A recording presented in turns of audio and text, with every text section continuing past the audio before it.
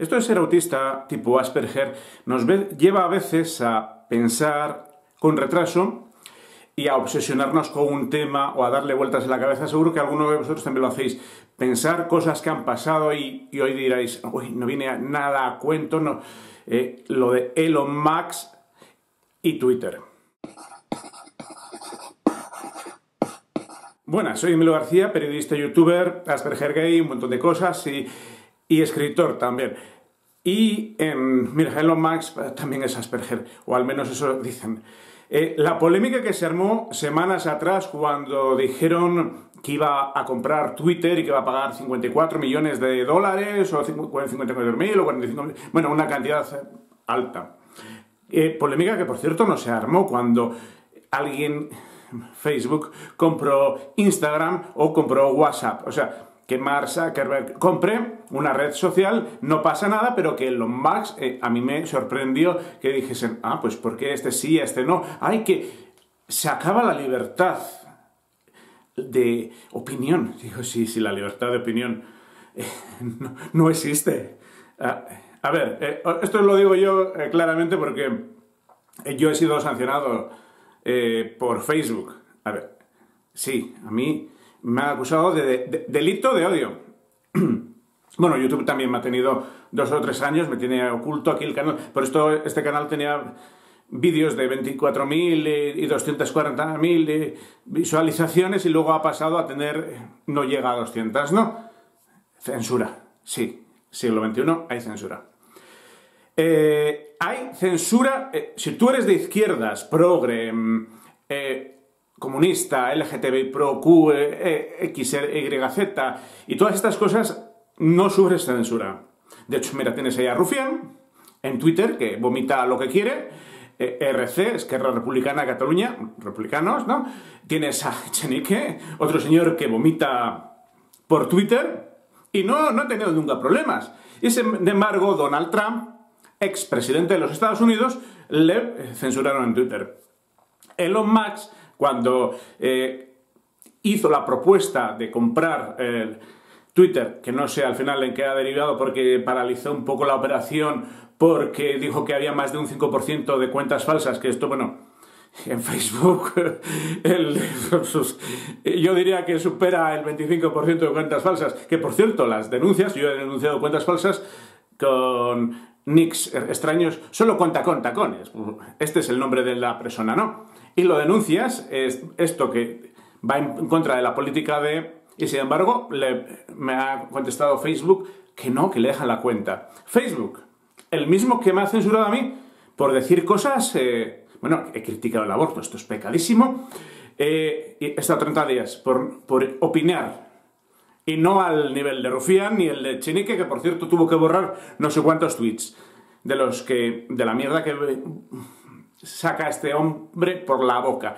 Eh, a mí me han censurado por decir que el, imperio británico, iba a decir gobierno, pero no, esto era ya de la época imperial, del imperio británico, pues se llevó cosas eh, de Egipto, del antiguo Egipto, de las tumbas eh, de los faraones, al Museo Británico. O sea, por decir esto, sí, sí, tal cual. O sea, Facebook me ha censurado, me ha impedido un mes opinar, o sea, fijaros la mierda que es Facebook, por decir algo que todo el mundo sabe que es verdad.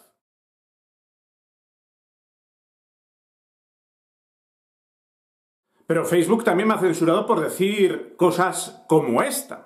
Sí, sí, que los británicos expoliaban Egipto o que saltan de balcones, aún lo entiendo, pero que me censuren por decir que los africanos son inteligentes. Ah, por cierto, esto lo han publicado de mí en Facebook y no han censurado a nadie. Comentario que incita delito de odio. Eh, sí, sí, lo habéis leído bien. Los africanos son más inteligentes. Esto, para una persona de Vox, de derechas, es delito de odio. Si lo hubiese dicho Echenique, no pasaba nada. Si lo dice Rufián, tampoco. Si lo dice Donald Trump, le censuran la cuenta en Twitter que por eso dijo Elon Musk que compraba la red social para hacer de ella, para darle más libertad y democracia. Que a todo el mundo le parece muy bien que hayan censurado a Donald Trump. Oye, pero no tiene el mismo derecho Donald Trump a opinar. ¿Estés tú de acuerdo o no? O sea, tú puedes estar de acuerdo con lo que dice o estar en contra. Como puedes estar en contra de mí, de lo que digo, o estar a favor. Esto, cada uno tiene su opinión. Yo vierto opiniones y yo leo las opiniones de Rufián. Leo las, de Chenique menos. Pero sigo a mucha gente de Podemos. Para ver qué dicen y a veces me río. Y, y, tú crees que hay que censurarles. O sea, y cuando se censura, ¿por qué a este sí? ¿Por qué a, a Trump sí? A Rufián no. ¿Cuál es la diferencia? O sea, censuramos a uno porque es de extrema derecha y lo de extrema lo apostillan ellos, y, al otro que es de extrema izquierda no, no, lo, censuramos, le dejamos total libertad de expresión. Bueno, eh, termino el vídeo de hoy. Eh, todo el mundo sabemos que no existe ni democracia, en España no, existe democracia, o sea, tú no puedes eh, votar y, o sea, tu voto no vale nada. Si tú votas, pero esto es una pantomima, como tampoco existe libertad de expresión. El, el mero hecho y la mera prueba de que no existe libertad de expresión es que si tú quieres expresarte y decir algo que va en contra del régimen establecido, y no estamos hablando de la dictadura de Franco, o sea, que la gente progre de izquierdas, socialista y comunista critica a Franco y la dictadura y la censura. Y ellos emplean lo mismo o peor en las redes sociales. ¿Por qué yo por estos dos comentarios en, me han calificado de delito de odio. ¿Por qué mis vídeos son calificados de delito de odio? Y bueno, ya termino, que me alargo. Eh, todo el mundo sabemos que hay ciertos temas de los que no se puede opinar. O sea, no hay libertad de expresión. Tú lees cualquier noticia de cualquier periódico sobre, no sé, esta, ¿por qué hay esta obsesión por Bach que decía Miguel Bosé, por ejemplo, al que le llamaron nega eh, estas palabras que no se pueden decir aquí en YouTube. ¿Por qué hay esta obsesión? O sea, primero todo el mundo con el bicho del 19. Luego ahora todo el mundo con la hepatitis de los niños. Luego eh, ahora con la fiebre o la, viruela del monkeypox. Y mañana la fiebre del sapo. Y todo va encaminado a back, back, back.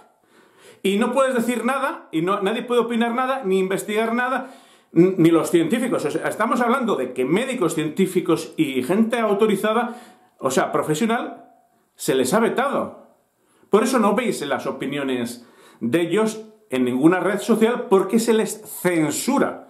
O sea, que a que no hay censura en el siglo XXI, hay más censura que nunca. Siempre ha habido más, libertad de opinión en los años 80, 90, incluso las primeras décadas de los 2000 que ahora. Ahora no puedes ni opinar ni y eres censurado. Que yo, a mí me parecía eh, la falta de libertad en el periodismo, como periodista que viví, eh, como periodista es que lo, he vivido mucho. Y dices, ¿cómo es posible que no se pueda, que solo se haya explicado las noticias en este tema médico eh, desde un punto de vista? Que cuando hemos visto, por ejemplo, después a posteriori lo de la eh, lo que ha pasado en Ucrania y que daban la opinión de, Ucrania y la de Rusia. O sea, daban dos puntos de vista. Pero en la anterior PAN, de mía, eh, no podías dar dos puntos de vista y los medios de comunicación no daban dos puntos de vista, daban uno. El oficial, el gobierno dice, y ves en Facebook, cualquier noticia de cualquier periódico, aunque sea serio, que sea el país, que cite la palabra maldita, eh, te sale una alerta. Ojo, censura.